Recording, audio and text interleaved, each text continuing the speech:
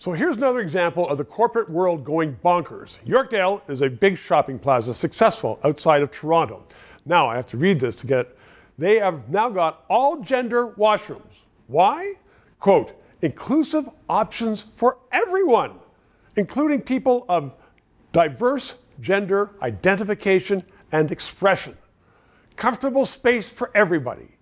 It's not comfortable, so I'm told, for a 70 year old woman to be sitting beside some guy, 16 years old, standing, having a whiz beside her. They say it's decisive, they say it's inclusive. I say baloney. The corporate world is getting sucked up by its own juices.